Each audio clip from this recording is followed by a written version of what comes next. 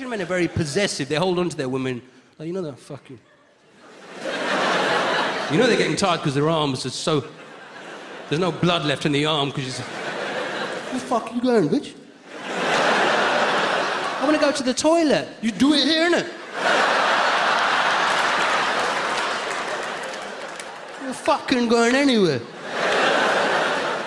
Don't fucking disrespect me, yeah? Don't make me look bad in front of my boys, yeah? Because they all go out in a group of. It's like one Asian girl amongst 25 blokes. Don't fucking go. He might chirps you. Fucking go. Who the fuck just texted you? Who the fuck is mum? When I find mum, I'm gonna kill him, yeah?